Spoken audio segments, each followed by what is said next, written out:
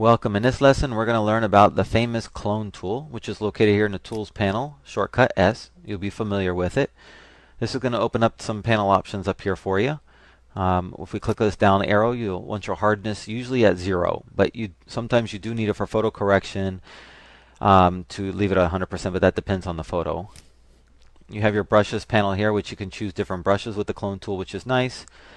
And then we have our general opacity and flow options. I usually leave these at 100%. I usually, I rarely ever mess with these options. Uh, we have a couple options here, aligned and sample. Sample is set to current layer. So let's first see what aligned is.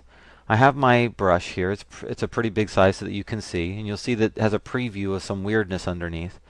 Well, how the clone tool works is you press Alt key, watch the cursor, and it's going to change and it's going to say, hey, I need you to sample something for me. So we're going to sample this image right here. Now I can take my cursor anywhere I want in the image and it's going to replace that image with what I have sampled. So if I come over here, you can see now that the beard is disappearing. And if I click again, watch what happens with the plus. You see how the plus follows the cursor? Watch again. You see how it's following the cursor?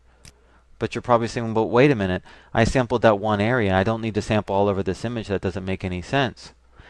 Well, let me go Control Z. And that's where this little button comes in. If you uncheck Align and you sample here, click, press Alt, click Sample, and then go over the beard, it will always sample from that same point.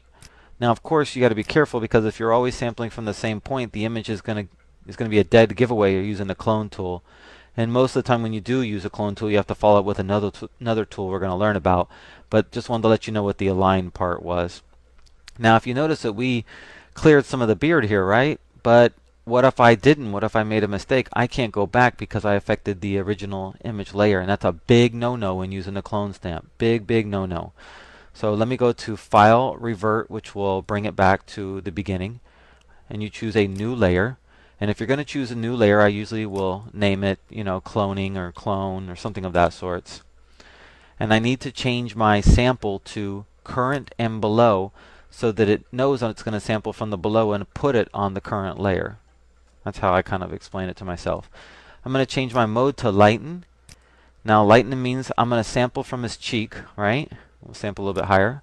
And it's going to say, hey, um, I'm going to clone anything that's um, darker than the area that I sample from because that's what lighten, mo mode does. Lighten says, okay, I'm going to lighten any anything that's darker than where I've sampled. Kind of gets confusing to say this sometimes.